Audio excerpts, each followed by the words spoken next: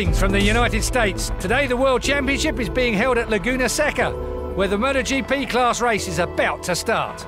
The weather forecasts are very reassuring. We'll have sunny weather for the entire duration of the race.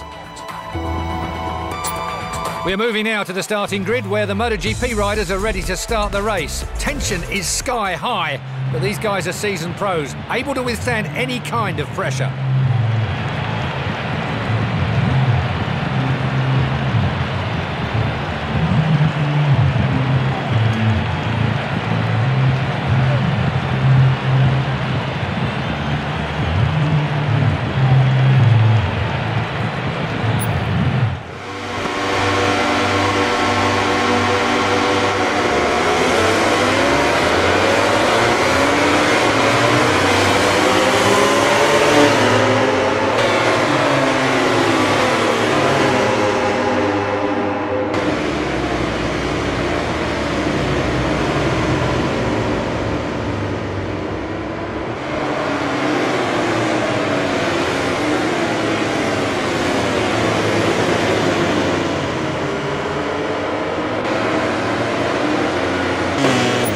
Riders are ready on the starting grid. The corkscrew is waiting.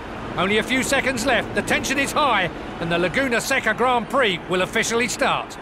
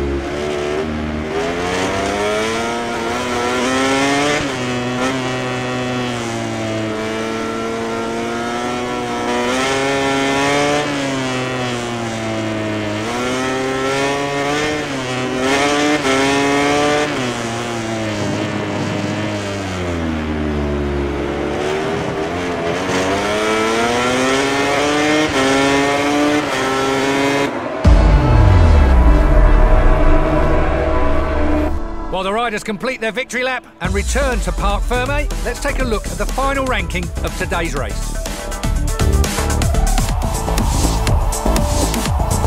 There might be a touch of bitterness due to the lack of victory, but the second place finish will earn him 20 precious points, meaning he's still in the running for the next few races.